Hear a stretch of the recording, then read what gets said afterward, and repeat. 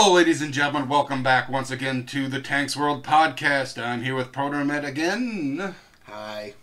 and we're talking about another Tony Todd movie, Yes. Candyman. He's awake, Scoob. What?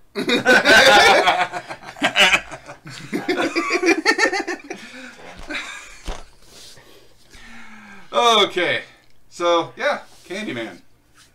Um,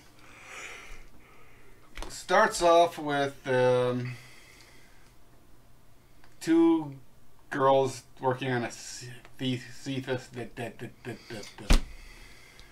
schoolwork of some sort. I think they're post grad students at a university in Chicago. Chicago, Chicago. not is the Il- Illinois. It is in Illinois, yes. Chicago, Illinois. Uh-huh. Um.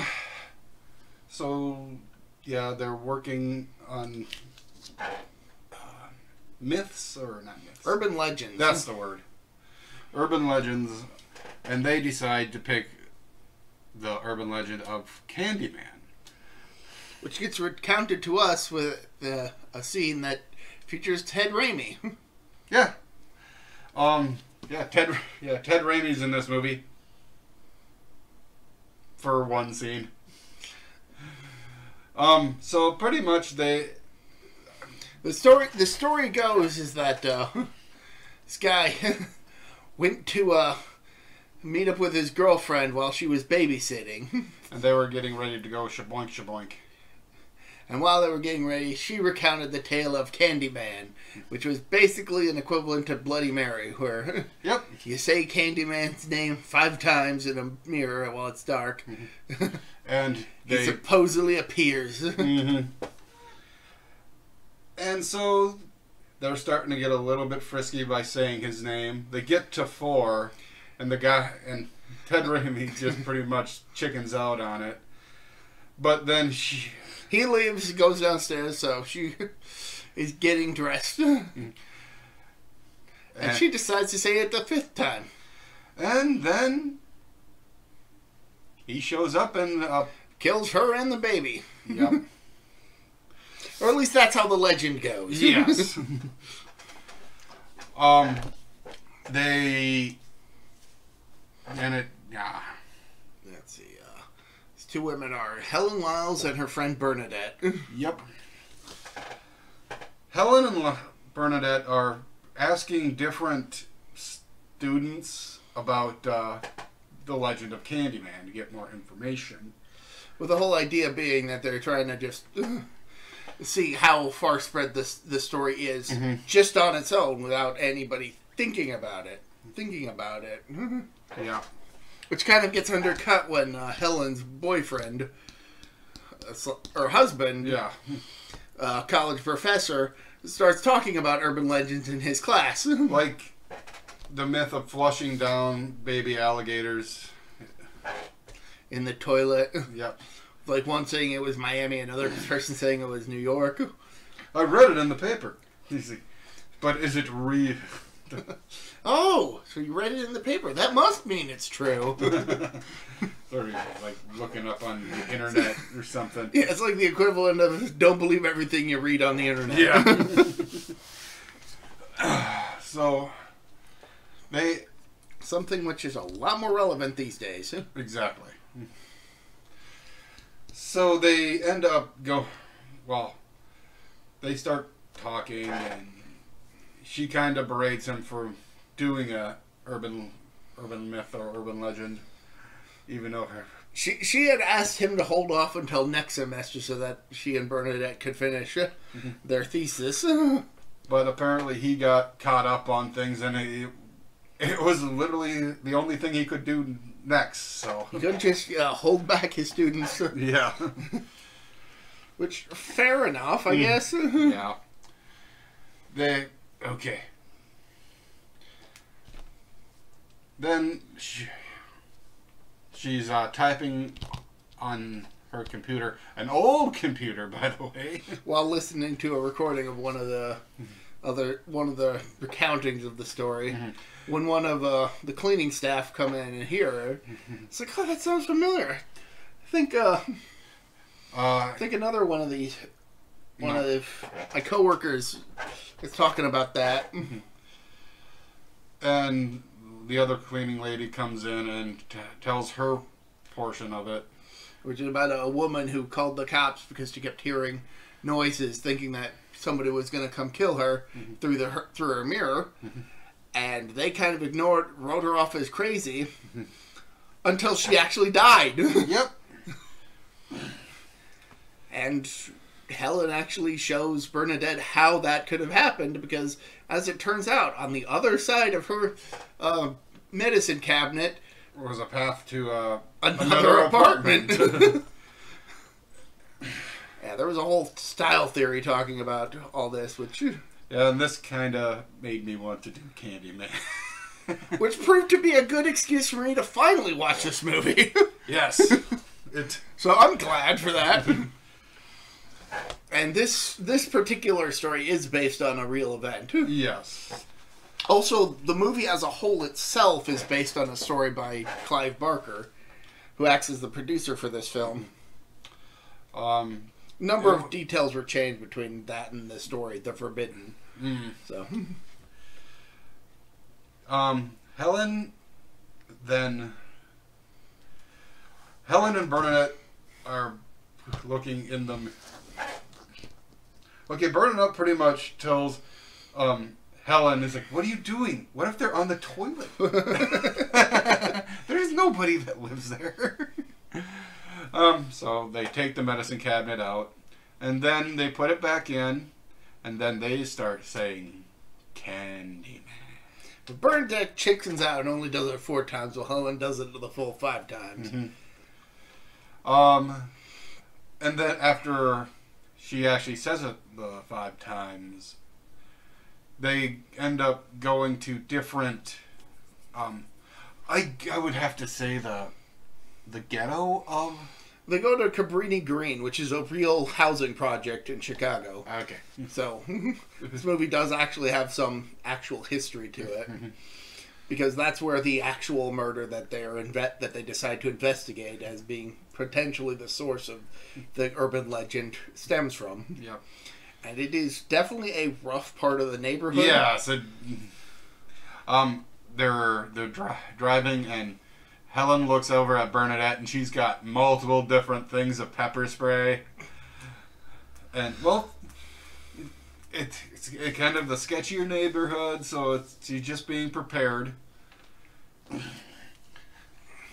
Then Yeah, uh, uh, uh, part of the theme of this film is the racial inequality Yes. as a result of the housing projects, in addition to the urban legend of uh, a lady being killed by somebody through her mirror, mm-hmm. which wasn't a urban legend that actually happened, but it's an urban legend based on that actual incident. Yeah. so Helen and Bernadette go to uh, that Cabrini Green. yeah.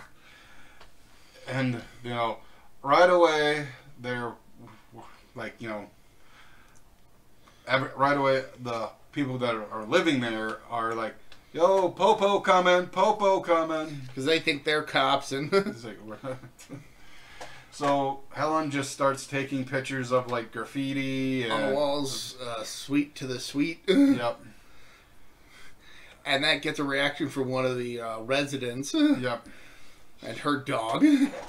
kind of scare them off yep. Whoa, sorry. before they finally head to the uh, the apartment where it actually occurred. Yeah. They they go in and Bernadette's like like you can't just go in there, you know, somebody died in there, you know, just It had been long enough uh, ago that Yeah. nobody was still around. So yeah. No police were involved Mhm. anymore, so they Yeah. And it it looked disgusting inside there, but yeah. They probably never really cleaned anything. No, unfortunately, those kind of places aren't exactly the most well maintained, No. even when people are living there. Mhm. Unfortunately, Yeah. and that's just due to you know the racial inequality. Yeah. the government not really giving a damn. It's like what? It's housing. Yeah. Deal with it.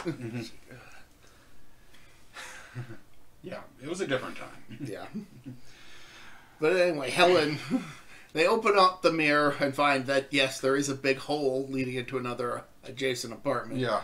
And Helen decides to climb in against Bernadette's uh, wishes. Yeah. She's like, I'll be right.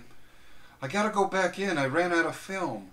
No, we are leaving right now. Yeah, no, Helen goes in and starts taking pictures of some of the graffiti inside there, including like A, huge- huge, more uh, a huge mural. mouth, a huge mural of a guy with an op- gaping mouth. Mhm. And she ends up uh, just staring at it and awkwardly seems hypnotized. She was going. She was planning on taking a picture of it, but her camera ran out of film just before she entered the room. Yep. And then she goes back through, and then, like I said, there, they gotta leave, and then they get uh, talked to by one of the residents. Who are wonder? Oh, Anne Marie McCoy, Yeah. who is wondering what they're doing there, Mhm. and they they do explain their situation that they're they're not there for any nefarious purposes. They're just grad students. Yeah, just trying to work on their thesis. Anne Marie's got, got her own kid Anthony to take Yeah. care of, Mhm. so they get to talking a bit before Helen and Bernadette You, uh, leave. You- saying you white folks just bring trouble around here. Pretty just Now, well, Bernadette is uh, fine with just letting everything stand here and Yeah. just going with the thesis that, as they've got it. Helen decides to investigate it a bit more and uh, ends up meeting a little boy named Jake mhm. who knows the legend of Candyman. And apparently a little a little boy had to use the restroom, but his her, his mom was too busy shopping and told him to just go across the street. And the boy got his genitals torn off Yep. by the Candyman, apparently. Yeah. Apparently, yeah. That part of it was actually based on a story that uh, Clive Barker's grandma told him about. Oh my. just to just to scare the kid, I believe. I think I'm pretty sure. so there's a bit of detail about real world detail behind that. Just So Helen ends up going into this disgusting bathroom, like extremely like poo everywhere. like just used to. You could tell that that's what was used to write some of the messages Yeah. on the wall. Like two of two of the toilets are destroyed, and Yeah. and the third is just. yeah, that's like just on the door and just on the wall, and then all of a sudden she's just taking photos, and then uh, Some thugs come in. and then uh, pretty much is are playing Candyman. One of them got a hook for a hand. That's just a plain hook. Uh, yeah, but Yeah. he's got he's he's wearing it. He's holding it as though it were a hook for a hand. Yeah, He's basically playing the physical manifestation of Candyman. and she gets beaten pretty much. But she goes to the cops after she wakes up. Yeah. Just the hugest swelling goose egg on the side of her face. It's just like, oi. And the fact that she's willing to talk about her experiences, how the cops managed to catch the guy, Yeah. and link him to the murder that took place in the apartment. Mhm. And all is f- f- w- fine and well, and the movie's over. Except, no, it's not. No, it's not. It's it continues on due to uh then Jake's like I want to go home. Like he he he lives in the part of town where he they don't trust the police pretty much. Right. Plus, he doesn't want to get uh, Like- in trouble for telling. Yeah. And Helen told him that he that they keep it a secret between the two of them. Yep.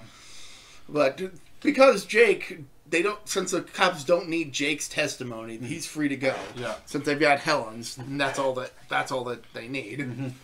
Jake is left to go home. Helen heads home.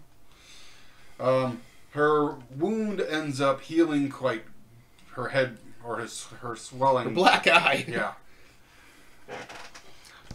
Um, yeah, so her and Bernadette meet up, you know. But first, actually, prior to that, uh, she makes a very good meal for her husband. Apparently, Her husband Trevor, yep.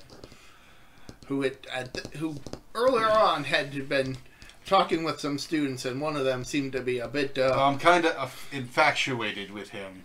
It's, it's a plot point we will discuss later. Yeah. You can probably guess where it's gonna where it's gonna go. But. Yep. Mhm. So Helen ends up making them like suppers or something, and then she takes a bath of some like I think.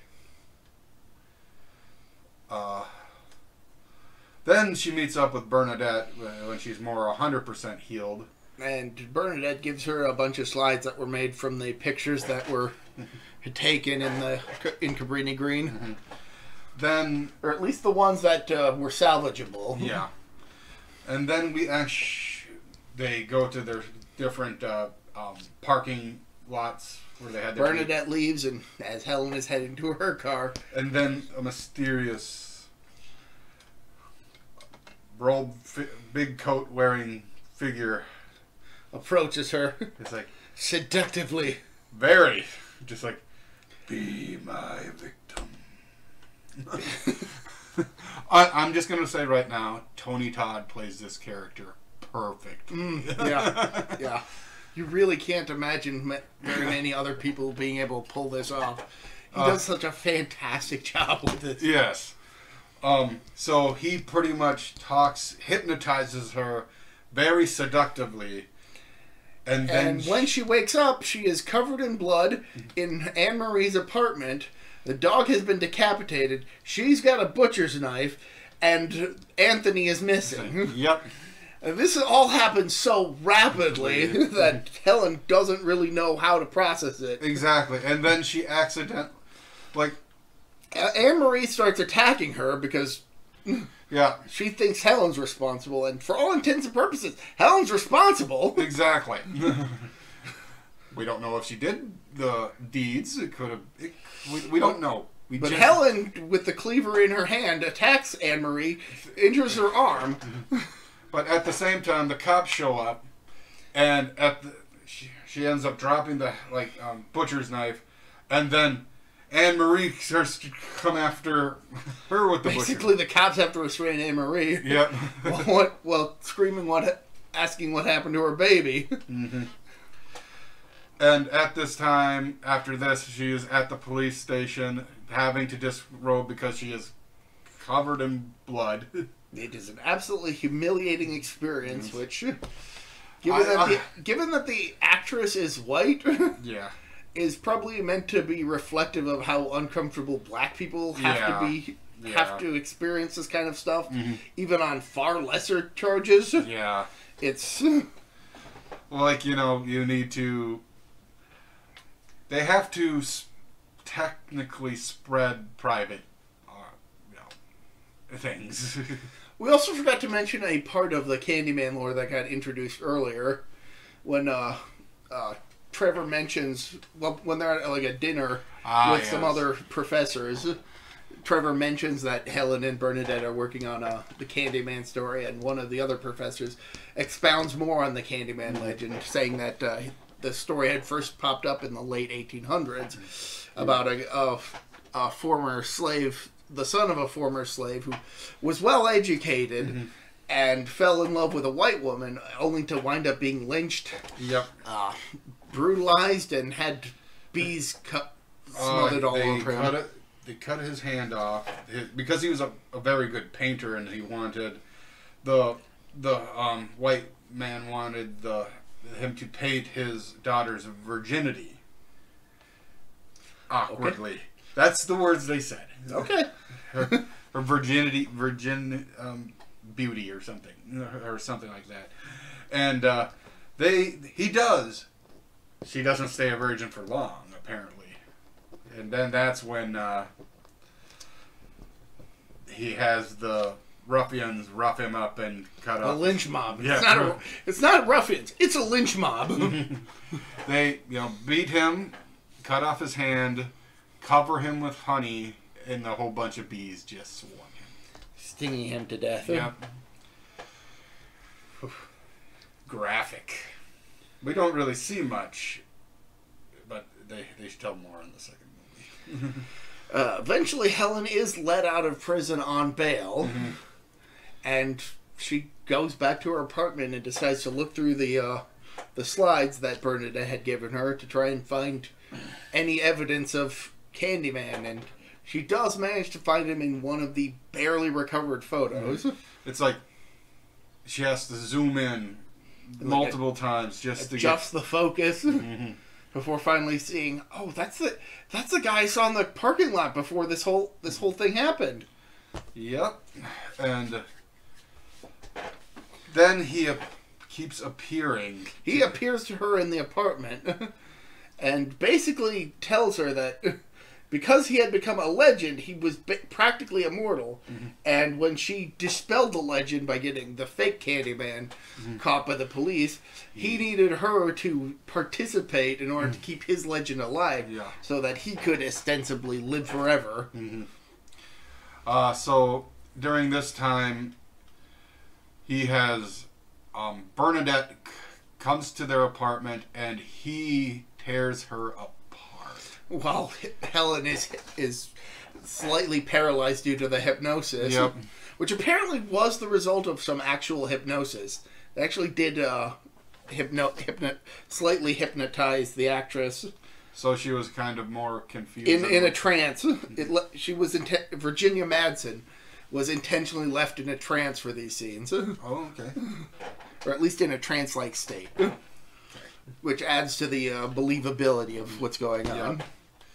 So Trevor co- comes home, sees Bernadette's dead body, comes in, and she sees Helen laying on the kitchen floor with a butcher's knife. So it just makes her seem more like the killer than the actual Candyman.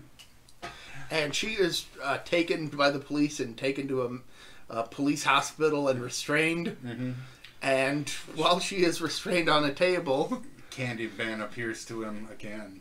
to taunt To- her, to her, to him. so then she starts freaking out to try and alert the guards. He mm-hmm. hides under the bed, and they sedate her Yep. without him ever being found. As she finds out a month later. Yeah, they have apparently every single time she she'd be off that thing, she would see him apparently and be like, Well, I, she she'd been so sedated for the past month. She had, for her, she didn't even realize that a month had had Yeah. passed because she kept flipping out.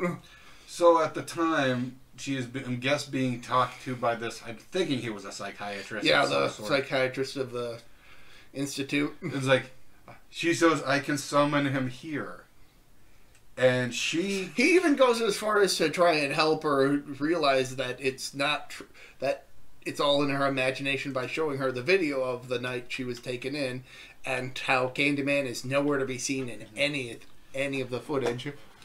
and uh, she she ends up saying his name five times, and he appears behind the um, psychiatrist and rips him groin to chin. From behind. Yes. Now he he stabs him in the back with his hook. Like it's a it's a brutal scene. Uh, gullet to chin, pretty much. Or wait. Groin to go groin to gullet. yeah, that's the But word. that's again he he attacks him from behind. I think you're thinking of uh, a line that Tony Todd says earlier in the movie, Ah. towards the beginning of the movie. Hmm, Maybe. Um. Yeah. So he like looks like he gets sucked out of the window.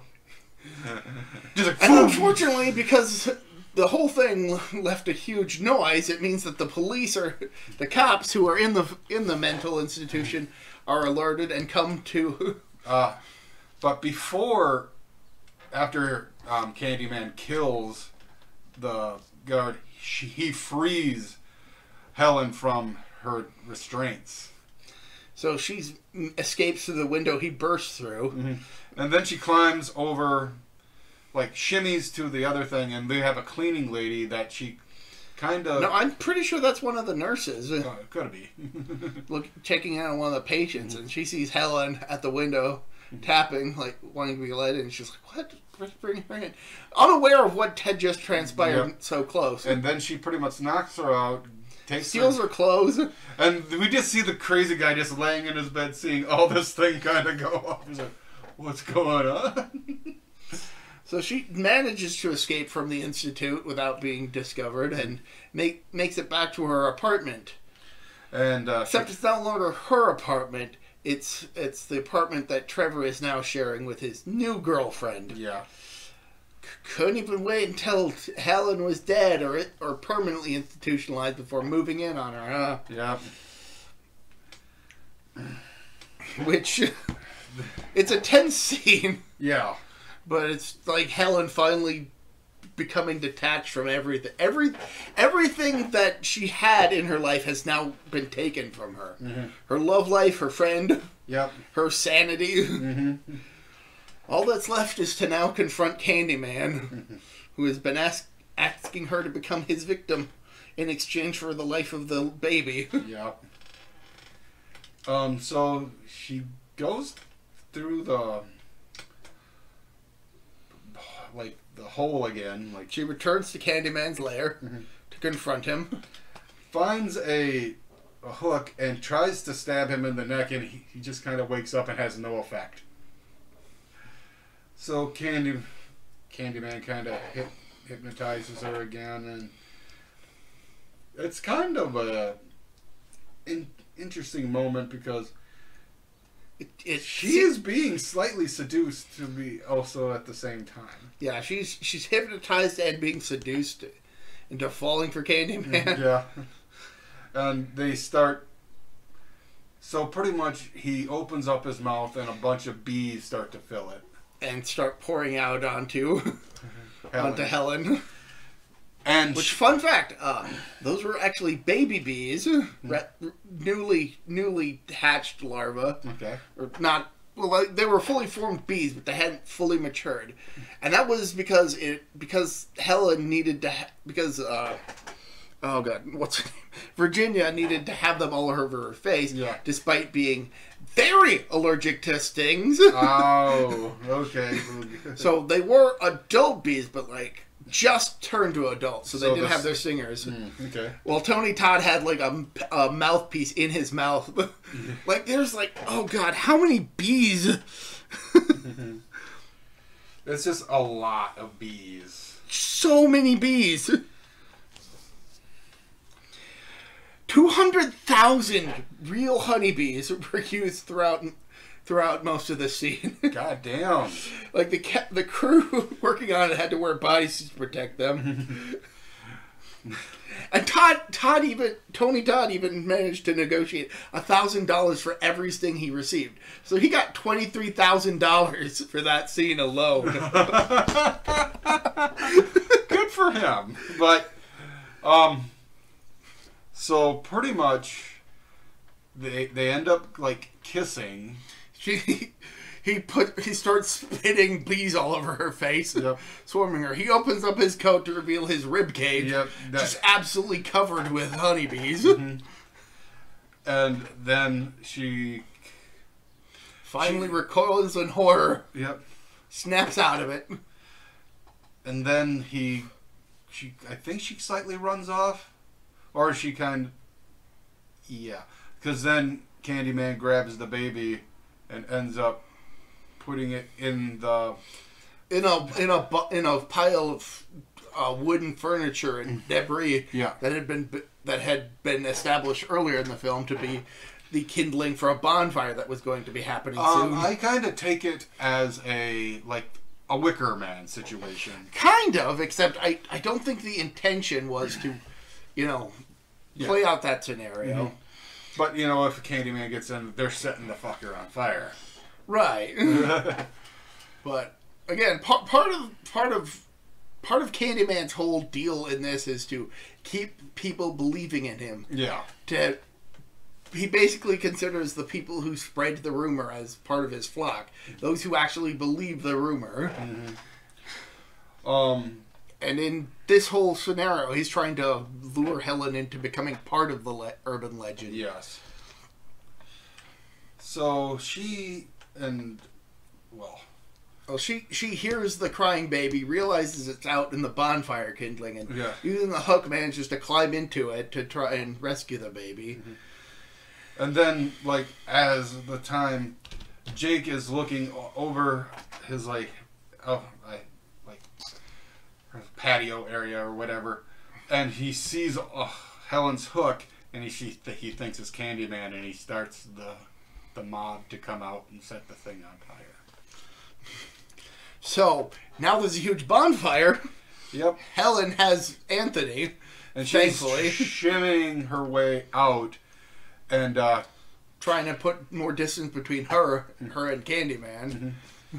um, Candyman does get a hold of her at one point, and then she grabs a big piece of like a sharp piece of wood and jams it into his st- like stomach, and then they tried. To, she tries to shimmy away through the Tries to crawl her way through the debris That- as low as she can. and uh, the fire ends up getting her. She ends up Pinned to the ground, but it she manages to break free because of how weakened the structure had Yeah. become from the fire. Mm-hmm. And she manages to save Anthony, though, at the cost of her own life. Yes. Sure, she loses her hair. She like her whole back is just blistered and burnt, Scarred, burnt, it's scarred. It's like a slightly more beautiful Freddy Krueger. Yes, you can say that. like her face didn't get touched at all. Okay, she was keeping her face close to the ground during the whole situation, so. Uh, she gets out and um, not Mary Beth. Um, uh, Anne Marie. Anne Marie sees that she has Anthony out of the fire, and then they like praise her, but she does die t- because of her wounds. And who wouldn't? So they hold a funeral for her, and ju- just as she's being lowered into the ground, a whole of the a whole residents. whole group of the residents of Cabrini Green come to pay their respects to this woman. Yep. And uh, Jake ends up dropping The can- hook. the Candyman's hook, into the grave with her. and you know we get uh, Trevor. We're back at Trevor and his girlfriend's apartment, and after the after coming back from the funeral, which he is uh, grieving in the bathroom. while his girlfriend is just kind of. It's like, so do you want to eat? What do you want to eat? You're gonna come out and help. You can't just stay in the bathroom. You, you can kind of tell that he's regretted. Yeah. He has regret. He has regrets over how this whole situation turned Yeah. out and how he basically turned his back on Helen when she was so good to him. Mm-hmm. and uh, pretty much she she starts tries to start uh, supper, but he starts saying Helen's name five times, and then he turns off the light. And then she shows up and kills him, Yep. having become basically the new equivalent to the Candyman. Mm-hmm. And the movie ends. Oh, Uh, the girlfriend finds the mutilated corpse of her boyfriend of Trevor in the bathroom, Yep. and we the the film ends with a, a slow zoom in on a new mural inside the Candyman lair of Helen with her head up with her hair on fire mm-hmm. in a more an- angelic pose. yeah. And Also, I forgot we forgot to mention this that when she finally makes it back to Candyman's lair for the final confrontation, it turns out she may or may not have been re- the reincarnation of of the lady that Candyman fell in love with back in the 1800s, could have been. and that this whole time he was trying to pull her back in because it was because it was her Yeah. because she was the the woman he had fallen for back then. Yeah, because everyone else he just straight up kills. Like, and they, like he just scares her. like he he cuts her a little bit on the neck, but it's never a full blown. That's because he's mostly using her to rekindle his legend in the Mhm. eyes of the faithful, Oh yeah. while while at the same time trying to, you know, manipulate her. Oh yeah. She she played a very good performance. Tony Todd had a great performance. Everyone in this movie was did their great job. Oh yeah, everybody was believable. Everybody played their role Mhm. fantastically. Yeah. So This was a lot more of a thrilling movie than I had anticipated. But that that's because I knew so little. Like I was expecting it to be like a horror love story, and it turned out to not really be that case. And I'm glad that I was wrong. So, what do what uh, horror? Um, what type of movie you would consider this being? a Uh, horror drama, a horror thriller, horror thriller. There we go. Yeah, I would have to agree with that. And uh, horror psychological thriller, kind of supernatural psychological thriller. um, who do you? Who was your favorite character? Do you really need to ask? It's probably the same as mine. What's yours then? Candyman. Hell yeah! so I guess. Helen was a good second place. Oh, yeah. um, no, cop number three. Oh, stunning performance from cop number three. No, of course it's gonna be fucking Tony Todd. I, I want to say that this was his breakout role. He had been in some other stuff, Yeah. including like Star Trek: The Next Generation and Platoon, but uh, this was clearly where he Yeah. landed on the map. Um, I believe he plays uh, in the remake of uh, Night of the Living Dead. He plays um, uh, the head, The token black guy. who- Yeah. the leader of the. uh, I can't remember what his name was. I'm looking it up because it is listed. Uh, ben. Ben. Yeah. Ben is the name of the character, and that came out before this movie. Oh, really? Yeah, Um. Yeah. this movie got a grand total of three sequels across the two decades since it's been out. And one. Three decades. Oh wow. Granted, the first two came out in the '90s, so within a decade. But Yeah. then, then you got the 2021 movie that came out almost 30 years after the fact, which is Um, yes, the about the remake. We'll probably have to discuss that one when we get there. But there's all these different people being Candyman. yeah. I did uh, do a little looking into it, and turns out it's it is a sequel rather than a remake. Yeah, because Tony Todd shows up. Yeah. so yeah, that is that. Is, I I had heard good heard good things about the movie. Uh, hopefully, we get around to that and the other Candyman movies because I want to see them because Oh yeah, we, we, we can do it, but you know, do, doing some research, uh, apparently there were a couple attempts at uh, making uh, crossover movies a la Freddy versus Jason. I think one was uh, Candyman versus Hellraiser, which never went anywhere. There was a uh, Candyman versus Leprechaun, which Tony Todd was like, no, no, I respect this character too much to let that happen. yeah. Honestly, I wouldn't mind seeing two Candyman, Freddy, because two like they actually have like powers of sorts. But you know the uh, the whole Candyman versus Hellraiser idea does make sense on paper, considering that both are Cl- Clive Barker stories. Okay. So The Hellbound Heart. yes, you never read that book, but the hell, but the first Hellraiser movie and first and second are pretty damn good. Uh, do you consider those the start of the slight torture porn? I mean, one could argue that, but I I think Saw was really where that started. Yeah. but they were in Hellraiser. It's more it's, psychosexual. Exactly. Exactly. Um, what was your favorite kill? uh, in Candyman, I think the one that surprised me the most, the the the dog, Yeah, the dog would be. because again, I I, I didn't I thought this was more, more like a, a romantic horror movie. So when. So when he ba- so when Ca- turns out Candyman threw Helen under the bus like right away I was like oh oh this is oh Yeah. oh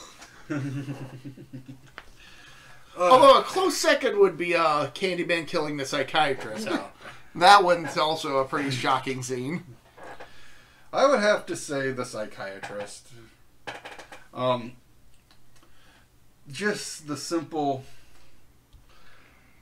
He is in her head. Oh, Yeah, absolutely. ex- just she's seeing him when he's not even. Well, he's probably there. He's well, he's like a ghost of sorts. You, you Yeah. think. a spirit of sorts. A spirit of vengeance.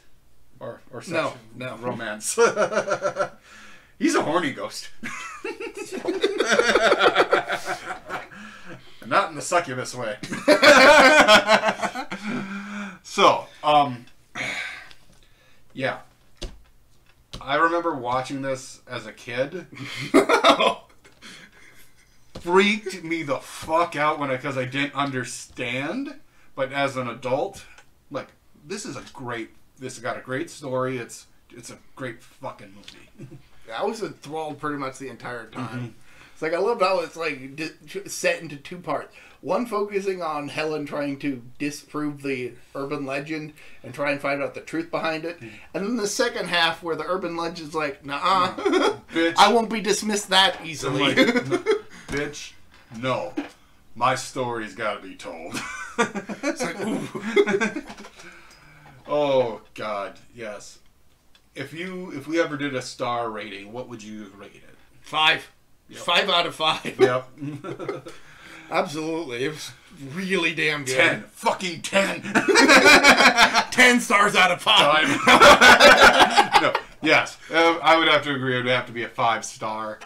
Freaking, uh, it's like the eeriness, the just the way Tony Todd can play this character is so eerie and sexual all at the same time. And he never becomes super aggressive. No. Like he has a calm demeanor about him, even even in the most harrowing situations for his character. And you know, if you think about it, that's scarier than a psycho going. "Ah!" Yeah.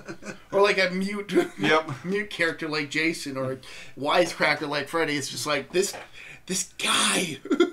It's like you, you know, he don't give a fuck who you are. You're getting a hook up through, up through the chin.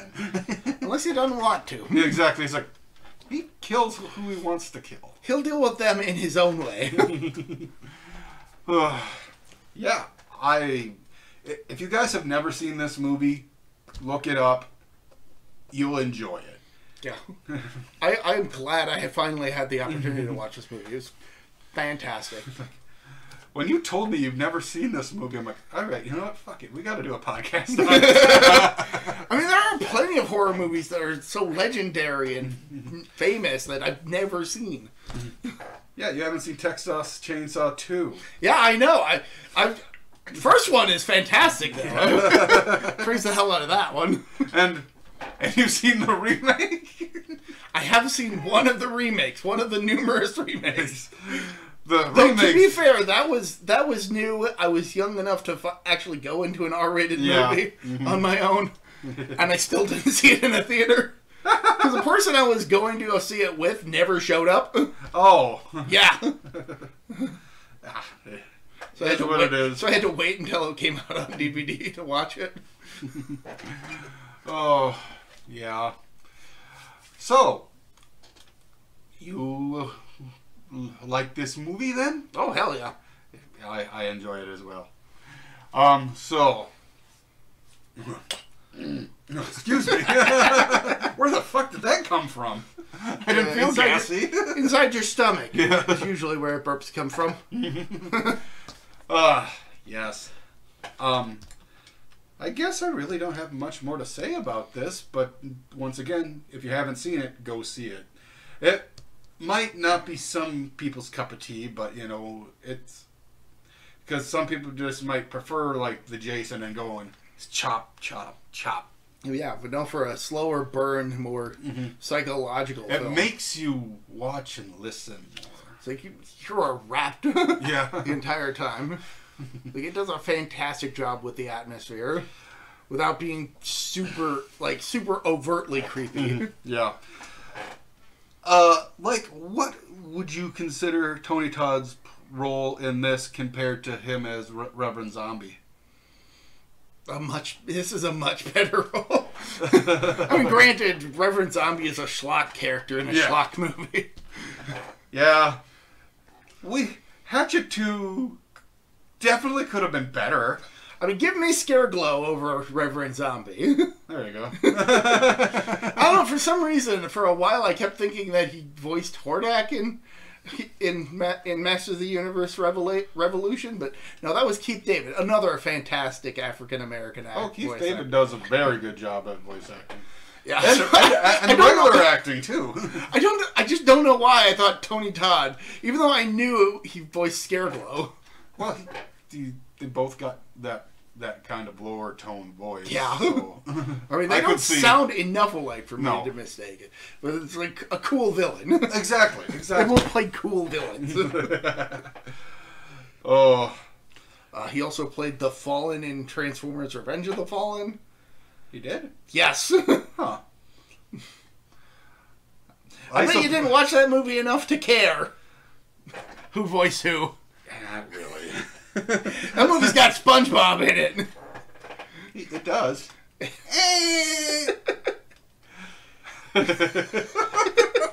and Frank Welker.